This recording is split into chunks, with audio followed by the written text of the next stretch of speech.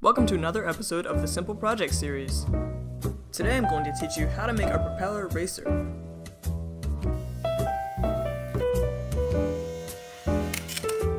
Propeller racers are small wheeled vehicles that move using a propeller powered by a motor. When electricity passes from the battery pack and through the DC motor, it spins a propeller which pushes air behind the vehicle. When the propeller pushes air backwards, it creates thrust, which in turn moves the vehicle forwards.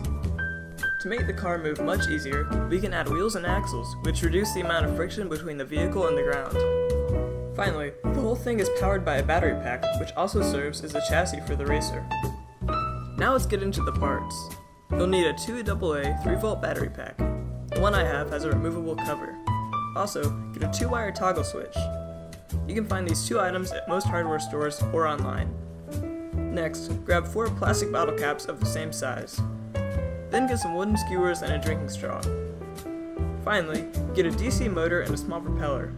I'll include links in the description for the propeller and the motor because they're kind of hard to find in stores. The tools you'll need are a pair of scissors, a glue gun, tape, and wire strippers.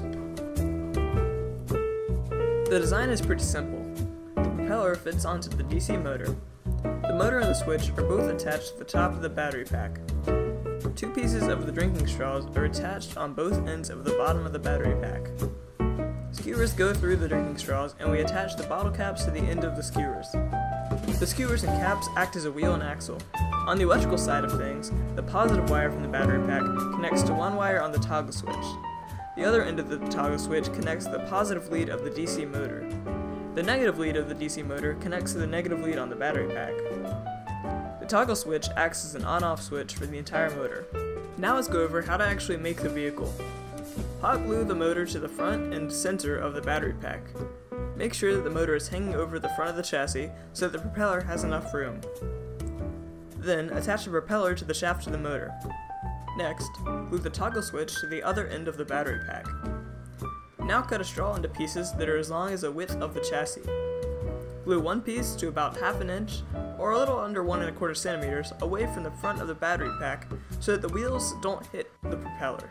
Then, glue another piece to the back end of the vehicle. Next, we'll cut the skewers.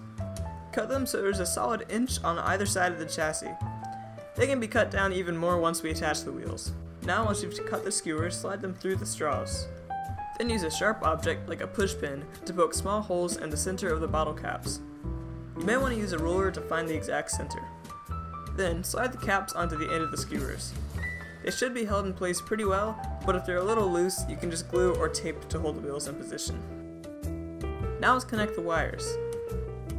If your wire is not already exposed at the tips, then strip the ends of the wires with a pair of wire strippers.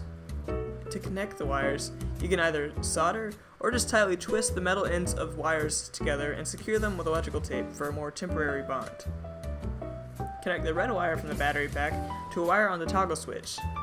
Then connect a wire from the DC motor to the other lead on the switch.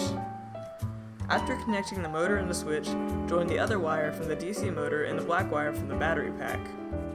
You can use either wire on the DC motor as positive or negative, but switching the wires around will reverse the rotation of the motor. Try one method and switch the wires if the propeller doesn't spin the way you want it to.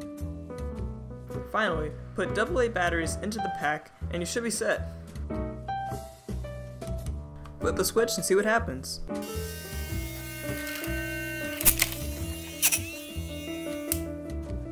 Once you make two or three propeller racers, something fun you can do is race them or have a jousting match with a friend. I hope you enjoyed this video. Thanks for watching.